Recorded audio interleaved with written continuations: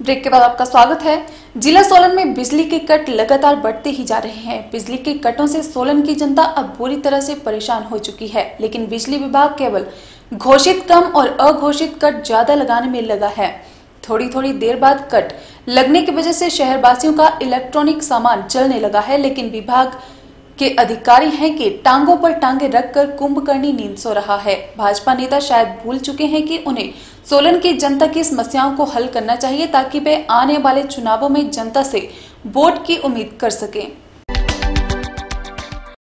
जिला सोलन में बिजली के कट लगातार बढ़ते ही जा रहे हैं। बिजली के कटों से सोलन की जनता अब बुरी तरह से परेशान हो चुकी है, लेकिन बिजली विभाग केवल घोषित कम और अघोषित कट ज़्यादा लगाने में लगा है। थोड़ी थोड़ी देर बाद कट लगने की वजह से शहरवासियों को इलेक्ट्रॉनिक सामान चलने लगा है, लेकिन बिजली विभाग के अधिकारी हैं कि टांगों पर टांगे रखकर कुंभकर्णी नींद सो रहे हैं। भाजपा नेता शायद भूल चुके हैं कि उन्हें सोलन की जनता की समस्याओं को हल करना चाहिए, ताकि वे आने वाले चुनावों में जनता से वोट की उम्मीद कर सकें। जब बिजली के कटों के बारे में भाजपा जिला अध्यक्ष आशुतोष बैद से पूछा गया तो उनका जवाब भी बड़ा हास्यप्रद दिखा। उन्होंने कहा कि ये सोलन का स्थानीय मुद्दा है और उनका कार्य संगठन को देखना है। स्थानीय समस्याओं पर स्थानीय भाजपा नेता पूर्व सांसद वीरेंद्र कश्यप, राजेश कश्यप और खादी बोर्ड अध्यक्ष पुरुषोत्तम गुलेरिया अपनी नज़र रखते हैं। उन्होंने कहा कि आपने ये बात ध्यान में लाई है, जिसको लेकर उनसे चर्चा की जाएगी।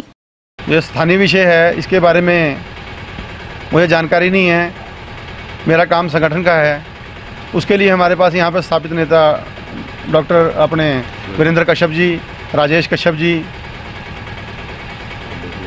गुलेरिया जी, इन चीज़ों को बड़े ध्यान से यहाँ पर देखते हैं। आपका आग्रह आपने ध्यान में आज लाया, इस विषय पे उनसे बात करेंगे और ताकि ये समस्या का जल्दी से जल्दी निदान हो सके। धन्यवाद।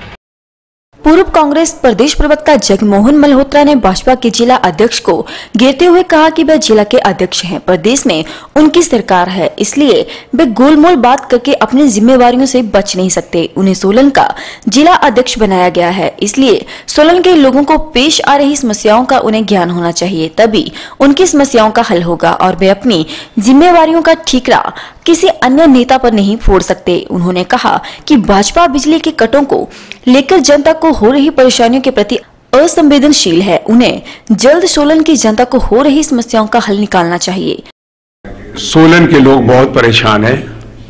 ये जो अघोषित कट बिजली के यहाँ लग रहे हैं और बार बार ऐसे ठंड में बिजली जा रही है, कभी 10 मिनट, कभी 20 मिनट, कभी 25 मिनट और पता ही नहीं लगता है कि कब आ गई और कितनी वोल्टेज आई। कई लोगों के कंप्यूटर खराब हो गए, कई लोगों के टीवी खराब हो गए।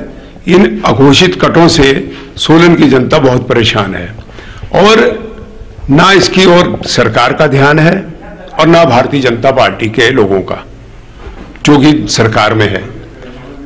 जैसा मुझे पता चला है कि आज जब जिला भारतीय जनता पार्टी के अध्यक्ष से इस मामले में बात की गई तो उन्होंने बड़ा अजीब सा जवाब दिया कि ये जो मामला है, ये स्थानीय है।